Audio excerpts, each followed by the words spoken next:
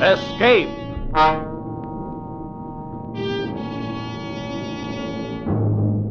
You are fighting your way through a frozen wilderness, torn by the icy blast of an Arctic blizzard, and driving you on towards certain death is a man with a gun, from whom you cannot escape.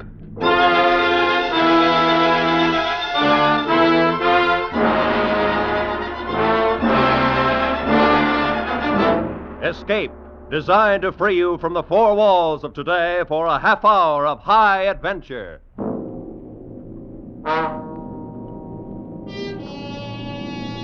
Tonight we escape to the Canadian North Woods, to a lonely wilderness where justice finds strange paths.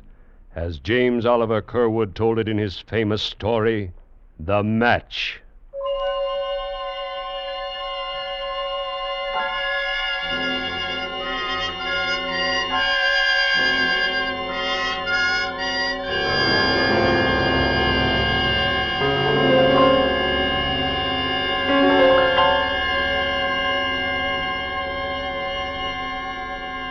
Just below the Arctic Circle, where blizzards scream in the winter and tear frozen branches from the pine trees, where the driven sleet cuts human skin like flying glass, there men know and fear the eternal spirit of the icy north, the great cold spirit that weaves the patterns of human destiny, both weaves and destroys.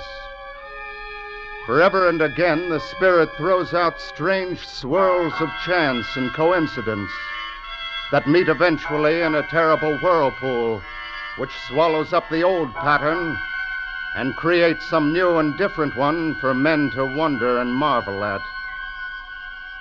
One such swirl in time and space began months ago and far to the south, in a logging camp near the southern border of Canada where two men faced each other on a narrow trail in the light of a full moon. It began in violence and hatred.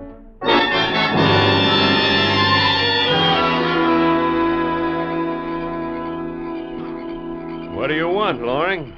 Thorne, I've been talking to Jeannie. She told me what you did. Well, what about it? She told me all of it, the whole thing. Hmm, too bad, Loring. But if you can't keep your wife from casting her eye around, then that's your tough luck. There were no eyes cast around, and you know it. All right, then. What are you going to do about it? I'm not sure yet. Then I'll tell you. Nothing. You haven't got a leg to stand on. I'm running this camp and every man in it. And if you don't like what I do, then get out. I'm planning to stay. In that case, you'd better get used to the way I run things men and women. And the next time I drop Why, in. you dirty. Ah, that's it, eh? Well, then. Drop that see- knife, Thorne. Drop it! Get up, Thorne. Come on, get up on your feet. Get up, Thorne. What's the matter with you? Thorne. Thorne. That rock under his head. He's. He's dead.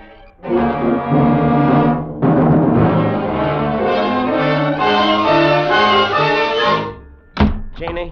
Billy. Billy, what's wrong? Jeannie, I ran into Thorne a few minutes ago. Oh, Billy. Your hand. What did you do? I hit him, Jeannie. He started to pull a knife, so I knocked him down. His head hit a rock when he fell. He's dead. No. Oh, no. They probably won't find Thorne till morning, so I've got to get out of here in the next half hour. Leave? I'm new here, Jeannie. They don't know me. It's just my word. I wouldn't have a chance. Where'll we go? Not you. You're going to take the baby and go back to the cottage in New York State. But, well, where are you planning to go? North, honey. A long ways north. I'll have a better chance up there in the woods. They'll catch you, Billy. They always do. Don't worry. They won't catch me. And somehow, sooner or later, we're going to be back together again. Believe me.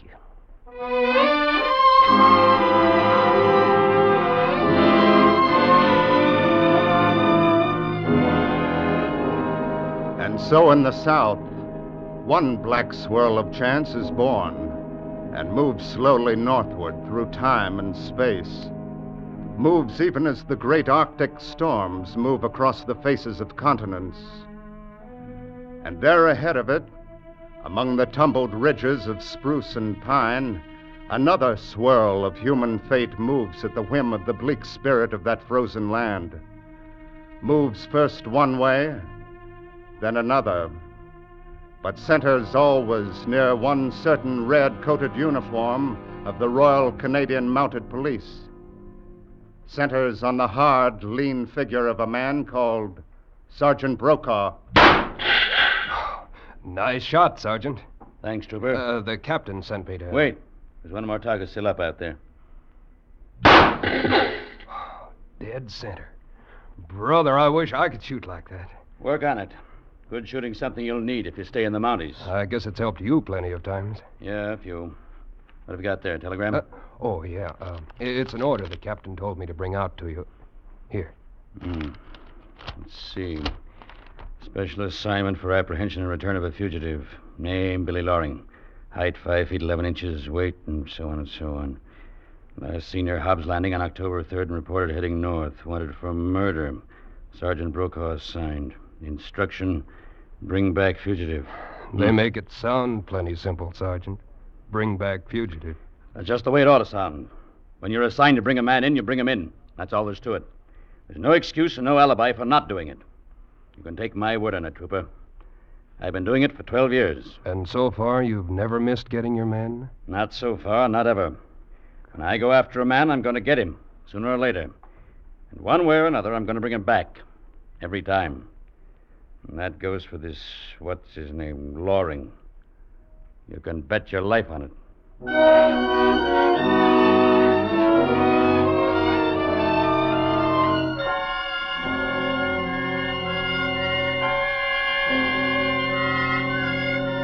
And so they grew in time and space, these two great swirls of chance, the one hovering in the north, and the other moving toward it slowly across a thousand miles and through 227 days. And one night at last, they met in a tiny raw pine cabin hidden in the blizzard frozen marsh hard up against the Arctic Circle. And the wild whirlpool born from that meeting created strange, new patterns of human life and death and destiny. All right, Loring. Let's have your other wrist. There. You don't need these handcuffs. You've got me, that's that. I don't take chances, Loring. You know it already, of course, but you're under arrest in the name of the Crown for murder. You can sit down in that chair by the stove. Thanks. It's funny, I've lived here all winter and I've had pretty good luck trapping. I've been selling furs to the Indians. In another month, I'd have had enough to go away and meet my wife. Then you come along. Tough luck, Loring. We'll start back for the post in the morning, or at least as soon as this blizzard lets up. That'll be three days. It always is. What's your name? Brokaw. Sergeant Brokaw. That's kind of funny somehow, today being the day you found me. Glad I did. I hate to be camping out in that blizzard tonight.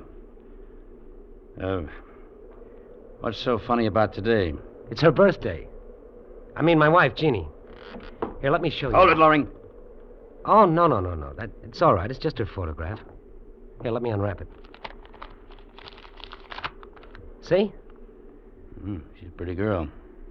Yeah, that and everything else, Sergeant. You married? No. Had some of her hair. That curl that's pinned to the picture. Yeah. Red, isn't it? It's like red gold. We got married on her birthday. So today's our wedding anniversary, too. She wanted it that way. She said the best things in her life always happened on her birthday. Yeah. Well, Yeah, I. I guess it was crazy. But I was so happy when I got up this morning about what day it was and only two months to go and all. I put two places at the breakfast table and I propped her picture up by one of them. I sat there talking to her while we ate together. I guess you get like that up here alone. I haven't seen a white man for three months. I had a little dog for a while, but he. He died about six weeks ago, and there wasn't any chance to get another one. Jeannie always liked dogs. Dogs and kids. You don't mind my talking this way, do you, Sergeant? Kind of helps. I don't mind. Why should I? Well, the thing is, we've always been so blamed crazy about each other. We'd never been apart until this came up. And then we had to be. And in another month or two, we'd, we'd have been back together. It's your own fault, Loring. It's not my concern. My job was to find you and bring you in. I've done part of that, and I will do the rest of it. Maybe so. I warn you right now, Sergeant, I'll make it as tough for you as possible. I'm going to get away if I can. You see, I promised her that we'd be together again. It's up to you, Loring. But if you start to play rough, I can play a whole lot rougher. One way or another, I'm going to bring you in to stand trial. And there's nothing can stop me. Maybe so, Sergeant. You see, I'm probably the hardest man in the whole Royal Canadian Mounted, Loring. And that's your hard luck, too. Because you might have softened up another man with that stuff you were telling. You think that's why I talked about it? I don't know, and I don't care. The only thing that matters is that I've got a job to do. I always have done it, and I'm going to do it this time. You can depend on that. I guess duty's a big part of your life. Not a big part of it, Loring. It's all of it. Now, if you don't mind, I've come 15 miles through the snow today. Last five against a blizzard. I'm tired. Let's turn in. All right, sure. You can take the bunk. Leave your clothes on. Is it all right if I get that photograph off the table? Go ahead.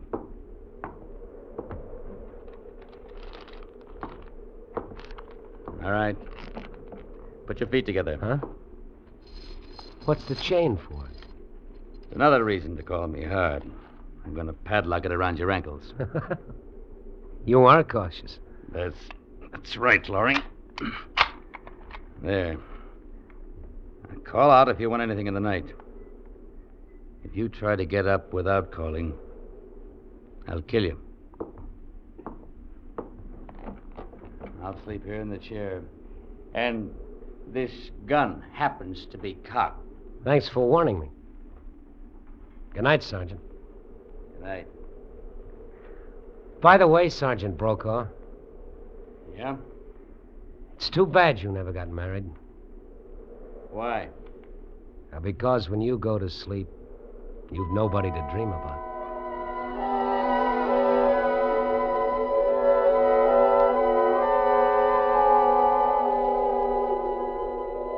Billy. Billy, darling. Can you hear me? Yes, Jeannie. Yes, darling. Never mind the blizzard. It doesn't matter. We've been in storms before. Yes, I remember.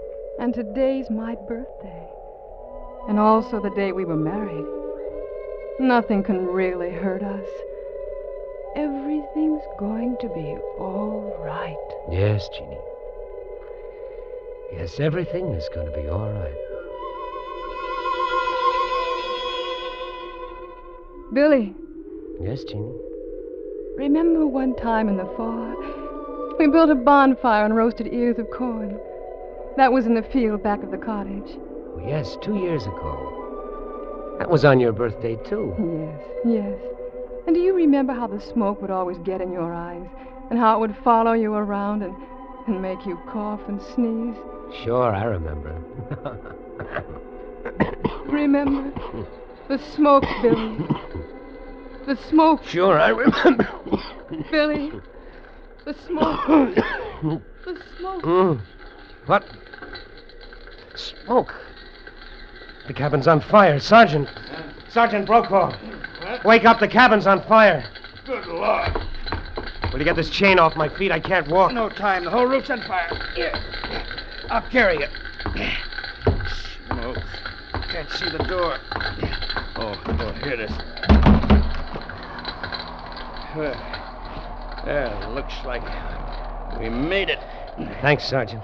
I gotta get back in there. All our stuff's in there. You can't make it. There goes the roof. I guess you know the spot we're in, Loring. Yes, I know. Our heavy coats, mittens, snowshoes, and all of our food is burning up inside there. And it's 40 below, and the blizzard's just starting. Here, you can't lie there in the snow. I'll get that chain off your ankles. There you are. Thanks, Sergeant. What about the handcuffs? Hey, stay on, Loring. Are you crazy? What difference does it make? We haven't a chance. You know that as well as I do. Yeah, I know. We couldn't be any worse off. We don't even have a match. I saw you fill your case and put it in your coat. It's inside there. We don't even have a match. I know that, Loring. And I know everything else you're going to tell me. We don't have enough clothes to keep us from freezing to death. If we stay here and keep the fire going, we'll starve. It's 60 miles to the nearest post and 20 miles to Thoreau's, the next cabin down the trail. We might make 10 miles if we're lucky. More likely five. That's right. So why the handcuffs? You've been living up here for three months, Loring. I've got an idea you probably know some cabin a lot closer than Thoreau's. Some Indian or a trapper. Maybe not more than two or three miles away. You want to start breaking trail? Well, suppose I did. What of it? Something good has always happened to me on Jeannie's birthday, and I think it has this time, Sergeant. It's a lot easier to freeze to death than to go back and die the way I'd be doing it. So, Oh. So it's like that. it's like that. Unless you want to make a deal. What kind of a deal? Take off these cuffs, give me that revolver, and I'll get you out of this. There's a cabin, all right. Sorry, Loring. No deal. You're a fool, Brokaw.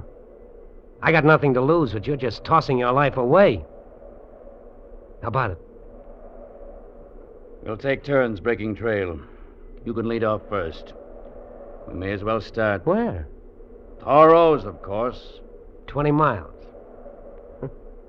Why don't we sit down and freeze to death here instead of five miles from here? Because I'll be five miles closer to bringing you in. Come on. You're a fool, Sergeant. You're beaten, and you know it. Why don't you give in? Come on, Loring. Let's get going.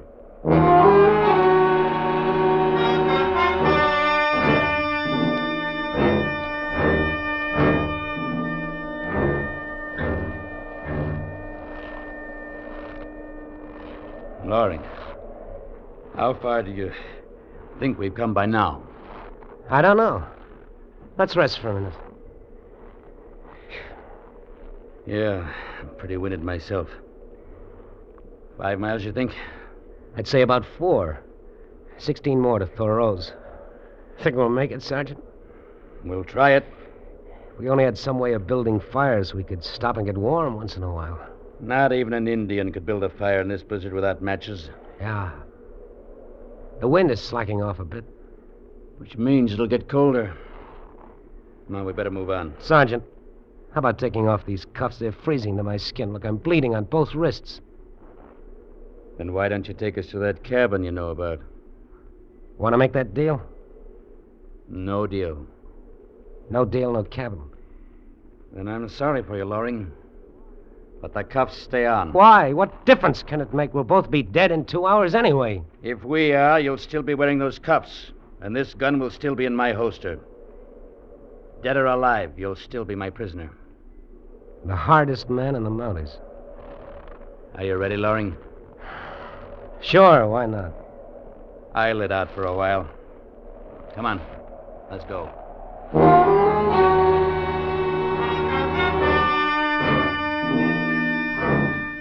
Of all those who dwell in this frozen land, the bleak, cruel spirit of the North is known best to men on the open trail. There, facing the breath of the blizzard, eyes blinded by the driving sleet, a man feels his soul grow small within him.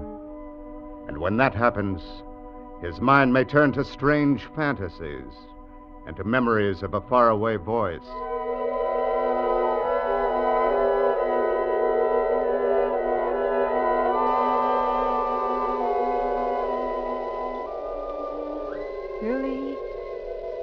You hear me, Billy? Yes, Jeannie. Everything's going to be all right, Billy. I love you. And everything's going to be all right. Sure, honey. The snow doesn't matter, and the blizzard doesn't matter. They'll be gone soon, and there'll be only us. Yeah. I can see you now standing there at the gate.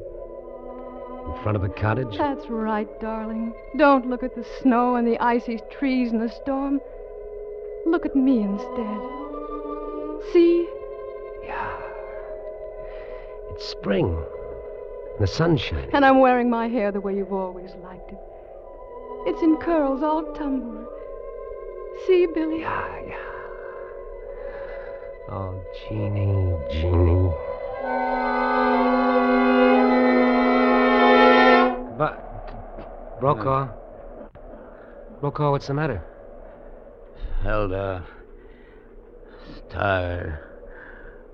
Rest a while. You can't lie there like that. You'll be asleep in five minutes. It'll be the end. Thoreau's. How much farther? Oh, around 14 miles. Come about six altogether. Uh, your, your hands. In pretty bad shape. I don't know, Sergeant. I can't feel anything now. Mm, might as well. Take those cuffs off. Stick out your hands. Thanks, Sergeant. Yeah. Here's my gun. How come? I'm through. Beat. I'm giving in, Loring. Take us to that cabin. What's wrong with you? You're too late, Sergeant. Uh, what do you mean? The cabin's about two miles from where mine was. We're over four miles from it now. Neither one of us can last another half mile. Yeah. I guess you're right. Well, looks like you win, Loring. You might call it that. It's tough on you, though. I was going to die anyway. Well, we may as well keep moving. Why? This is as good a place as any. Not gonna stop trying as long as I can move. You can do what you like, Loring. I'm going on. Wait a minute, Sergeant. Uh, If we had a fire and we could get warm for a while, then we could make that cabin without much danger. yeah, we haven't. Suppose I say the word that'll save both of us, get us out of this. Will you go back to headquarters and tell them I'm dead? No. No, I can't do that. In 12 years of the service, I haven't run up a white flag once. I'm not going to do it now. Dying or no dying. Duty, huh? Call it whatever you want. We'll make you a square offer, though. Pull us out of this, and I'll, I'll give you 24 hours head start. As soon as we're both on our feet again. You're all right, Brokaw. Funny, I don't even know why I'm doing this. I could have let you go on down the trail there. You'd stumble into a drift and be dead before you'd made half a mile, and I'd have been safe then. Funny, I don't know why I'd do it. Maybe it's on account of her. Hmm. What's your plan, Loring? What have you got in mind? I'll take the offer of 24 hours, Brokaw. I've got a match. A match? Yeah, just one. I remember dropping it in my pants pocket yesterday. It's on this side. Maybe you can get to it. Your hands are in better shape than mine. All right. I can't seem to. Yeah. Yeah, here it is. It's dry, too. Now drop it. It's the only one. Yeah. We gotta have some branches. Dry bark. Here. You hold it while I get some off that birch tree. All right. Mash. Mash. Don't drop it, Loring. Hold it careful. Yeah, I got it. Uh, the bark's dry underneath. About, ought, to, ought to be all right to start it. That should burn all right. We ought to, ought to have some dry paper, just to make sure. I've got some. Hold the match. Uh, oh, oh, paper wrapped around that photograph. Huh? Here you are. Funny, I was thinking about her when I remembered the match. I guess she's the one that's really going to light this fire. Well, there it is. You want to strike it? Or you want me to? You go ahead. My hands are still pretty stiff. All right. You want to have something dry to scratch it on. There's a gun file in my same pocket. Reach in and get it. All right. Oh, yeah. Yeah, here it is. All right. Well, It's up to her now. All right, Jeannie, strike the match. Oh, Brokaw. oh, Brokaw, what's the matter? the match. Loring it went out. No. Our only chance, and it went out. So that's that. I, I gotta get moving. I gotta get to Thoreau. Brokaw, you can't make it. I gotta go on. As long as I'm alive. I gotta keep going. I gotta keep going. Brokaw, you don't have a chance. Brokaw! He's gone. Well, what's the difference, here or half a mile farther? It's not so bad. It's kind of peaceful, dreamy. So peaceful, it's just like going to sleep. Billy. Don't go to sleep, Billy. Wake up. Everything's going to be all right, Jeannie. Wake up. Darling. You can't go to sleep. You've got to wake up. Everything's all right. The smoke, Billy. Don't you remember the smoke? Huh? We're going to be together again. Open your eyes. Huh? Together again, Open your eyes. Huh? What? Smoke. The fire. It's burning. The spark from that match must have caught. Jeannie! The fire, is burning. The fire!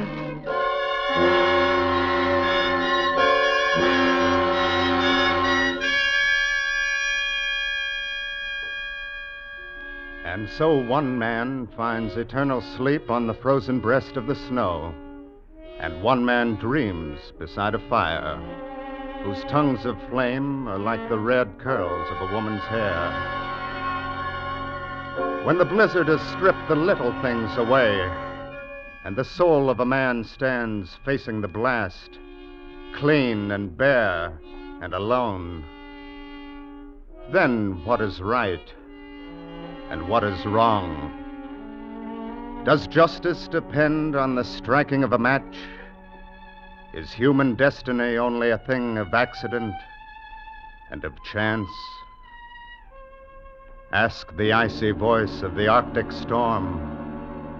Ask the cold, bleak spirit of the great North Woods.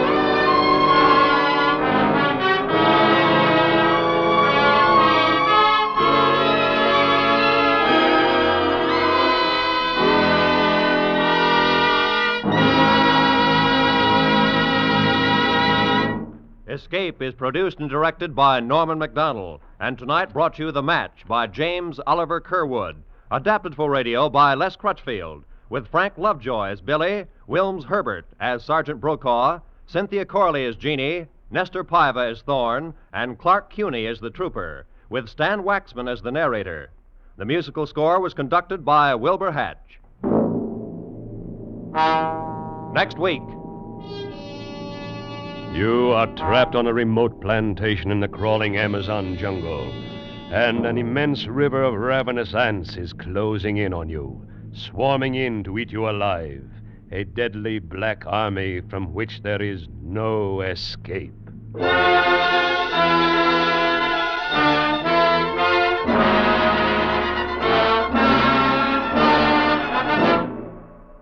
Next week, we bring back the escape story you have most requested in your letters Carl Stephenson's gripping tale, Leiningen versus the Ants. Good night, then, until this same time next week, when once again we offer you Escape.